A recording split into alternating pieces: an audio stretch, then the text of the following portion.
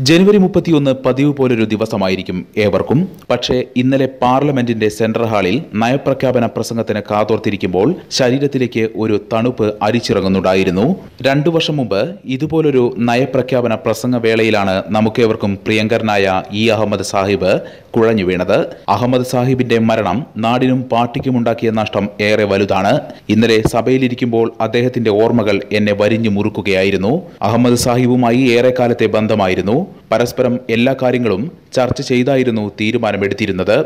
മുസ്ലിം ലീഗിനെ ദേശീയ തലത്തിൽ വളർത്തിയതിൽ ഇ അഹമ്മദ് സാഹിബിനുള്ള പങ്ക് വലുതാണ്. എല്ലാ ദേശീയ നേതാക്കളുമായും അദ്ദേഹം വളരെ സൗഹൃദത്തിലായിരുന്നു. ആ സൗഹൃദം മറ്റു രാജ്യങ്ങളുടെ ഭരണാധികാരികളിലേക്കും വളർത്തിയെടുത്തു.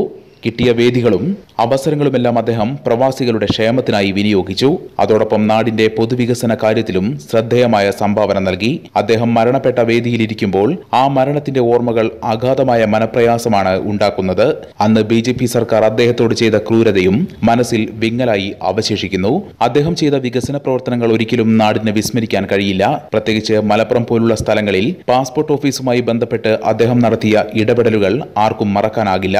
പാണക്കാട് മുഹമ്മദ് അലി ശിഹാബ് തങ്ങളുടെ മരണത്തിന് ശേഷം അഹമ്മദ് സാഹിബിന്റെ മരണമാണ് ഏറെ വിഷമമുണ്ടാക്കിയത് അഹമ്മദ് സാഹിബ് ഉയർത്തിപ്പിടിച്ച ആദർശ രാഷ്ട്രീയം എന്നും പ്രസ്ഥാനത്തിന് ഊർജം പകർന്നുകൊണ്ടേയിരിക്കും പാർട്ടിയുടെ മുന്നോട്ടുള്ള പ്രയാണത്തിന് ആ ഓർമ്മകൾ കരുത്തു പകരുമെന്നും P K Kunhalikutty ഓർമ്മിച്ചു the Kottakkal Cooperative Urban Bank Limited, Head Office, Kottakkal. 24 branches bound to generation since 1937. Zeenath silks and sarees metro plaza Tirur road Kottakkal.